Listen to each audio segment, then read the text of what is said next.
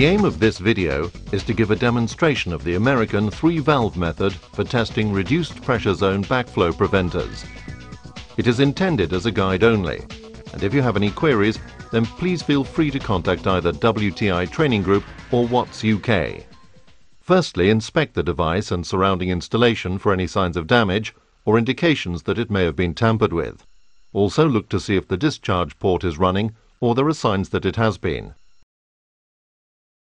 Ensure that the installation complies with the latest version of the installation guidance note, and in particular that the clearances around the device are correct. Next, ensure that the serial number on the valve matches the device to be tested, and that permission has been given to interrupt supply of water to the process. Ensure that the test kit is in calibration and that all the bypass needle valves are open. The test cocks are numbered from 1 to 3 across the device, starting with the first zone. Test cock 1, test cock 2, test cock 3. Ignore the test point located on the first isolating valve if present. The object of flushing is to remove any debris which may become lodged in the test kit and require the kit to be overhauled.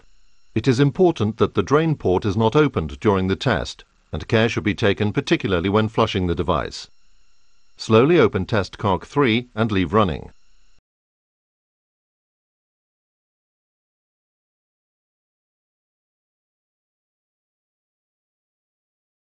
Gently open test cock 1 and then close once all air has been expelled and there is a steady flow.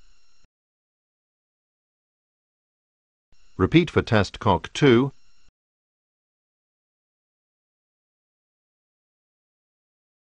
and then close test cock 3.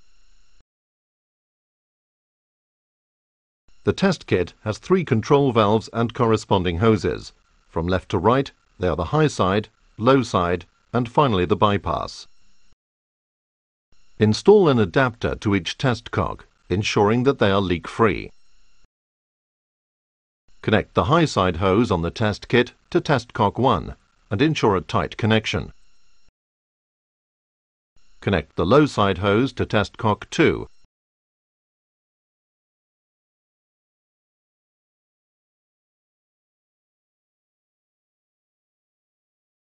and then slowly open test cock 2, allowing water to flow through the test kit and via the bypass hose to waste. Open test cock 1 slowly, ensuring that the discharge valve does not open. Once all the air has been vented via the bypass hose, close the high side control valve. Then close the low side control valve and finally the bypass control valve. The kit is now ready to perform the test, so close the downstream isolating valve. If the differential pressure gauge gives a steady reading, which is greater than zero, then it can be assumed that the first check valve is closed tight. Open high side control valve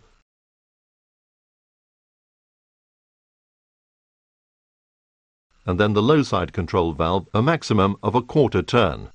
A hand should be placed under the drain port and a careful eye kept on the differential pressure gauge. When a discharge of water is felt in the hand, observe the reading on the gauge and record. This is the opening point of the relief valve and must be a minimum of 0.14 bar. Now close all needle valves on the test kit. Gently open both the high side and bypass control valves to establish a flow through the test kit. Then close the bypass control valve to give a slight trickle from the bypass hose. Next, open test cock 3 to give a slight trickle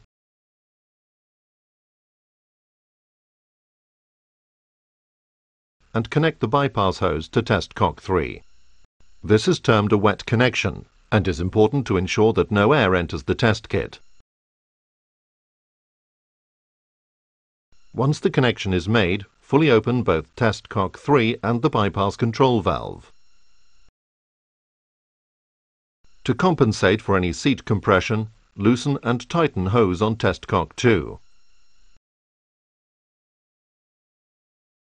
If gauge remains steady, then the second check valve is holding tight and should be recorded. Now observe the differential pressure gauge reading and record the figure. This is the head loss across the first valve. It is important to ensure that the buffer, which is the difference between opening point of relief and the head loss across the first check, is greater than 0.2 bar. Next, close all needle valves on the test kit.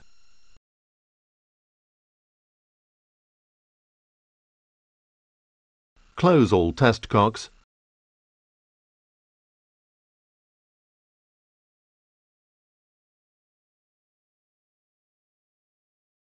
and disconnect all the hoses from the device.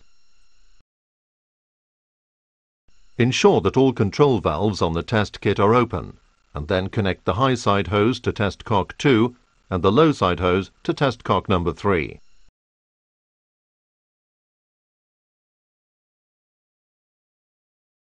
Open test cocks 2 and 3.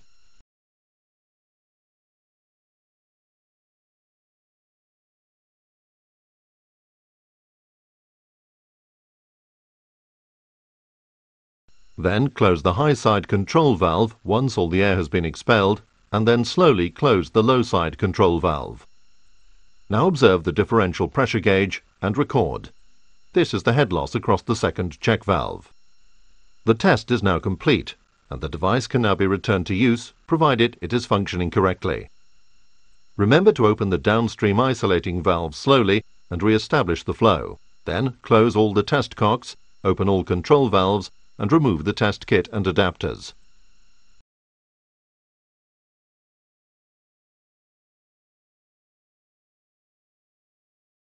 If the device has failed any of the tests, then it will require maintenance to rectify the problem.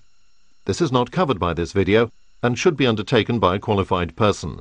Only manufacturer-approved spares should be used and a suitable lubricant as required. If you have any queries, please refer to the manufacturer of the valve for guidance.